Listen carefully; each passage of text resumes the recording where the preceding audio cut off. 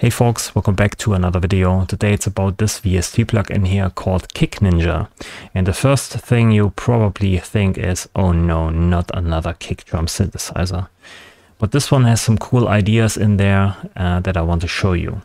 So first up, you have here your waveform. You can dial in uh, for the body at least, the pitch envelope. You can dial in the amplitude envelope. You can change here the blend between different oscillator wave shapes over time if you want to. You can dial this in here. That's very special. Distortion. So you have basically for everything in here, you have some automation line you can use and dial it in over time. That's pretty cool. You not only have an oscillator here, you have also a sampler or at least three samplers and here at the end some kind of global effect with some uh, distortion, uh, compressor and so on. So, so far pretty normal. Um, there's also on top here an export feature where you can just drag this out into your DAW, just a pure sample, which is also very handy.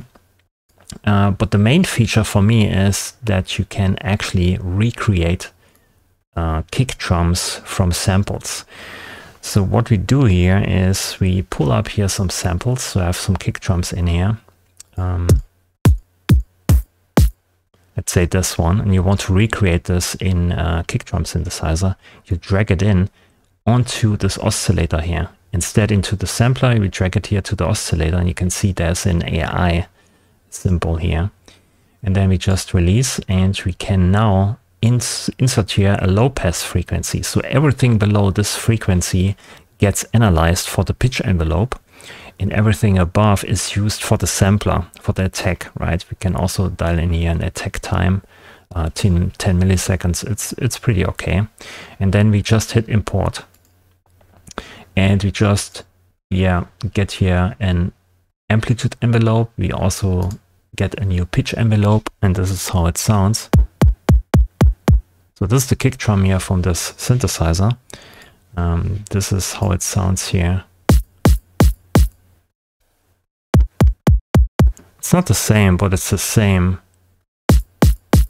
the same pitch envelope and so on. So of course, some of the texture on top is missing, but you get the same kick drum.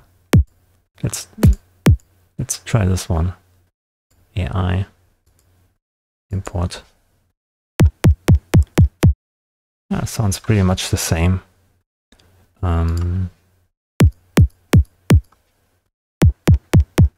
Yeah, it's kind of the same kick drum. So this one here is pretty dope in my opinion. To just drag in some uh, kick drums and uh, recreate them inside of an oscillator. I love these kind of features. It's really my thing. Um, there's another dope feature in here I have never seen before. So let's um, use here an init. If I have, is, is there actually an init preset? Init preset, yeah. So it sounds like this. So it's just an oscillator. So let's dial in here um, pitch envelope. Let's say something like this. So you can create 808 sounds with this. Of course, this is just a sine wave here. Um, but you can now use here the pitch tracking. And now the last pitch node inside of this graph here becomes more or less pitch tracked. Everything before is always the same. This means you can create a kick drum or you can create the attack of the kick drum. And this last thing here is then pitched to the key input of your keyboard. So it's pitched up or down.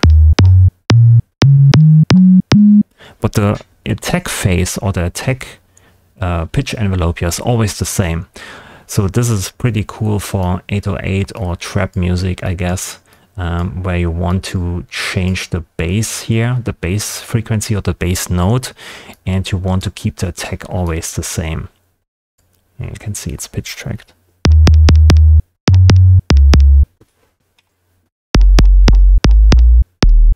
And then here, of course, use a bit of distortion, or we can um, modulate this or automate this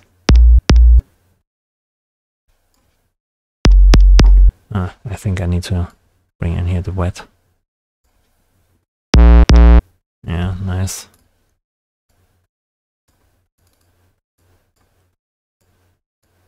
Oh, that's a bit too much here.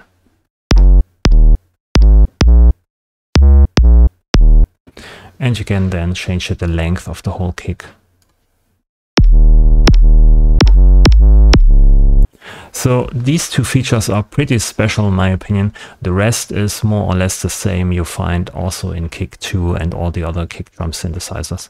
But this one was a bit special and I think this is a great idea here to use AI or machine learning to figure out the uh, pitch envelope and yeah, dissect the kick drum into an attack phase and uh, the tail or the decay or yeah, it's called body decay and tail here. So yeah, this is pretty dope. Um, I leave you a link in the description below so you can uh, try this out. There's also a trial version available on the website. This is here trial. I haven't bought this yet. So I try to figure this out if I really need this and I uh, drag some kick samples in there and yeah, see what comes out of it. So I want to show you this on this Friday. Thanks for watching. Leave a like, leave a comment if you want to ask something. Subscribe to the channel. Thanks for watching and bye.